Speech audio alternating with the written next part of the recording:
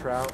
Wow. And it's catch and release, and I threw the trout back in. It was kind of struggling. It's an immature Yeah. eagle. Like within like 10 feet, the young eagle just nailed it.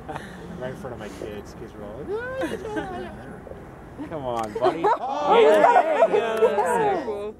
He did get it too. Yeah, he got it. Oh, wow. Yeah, yeah. Good job, little guy. He's learning.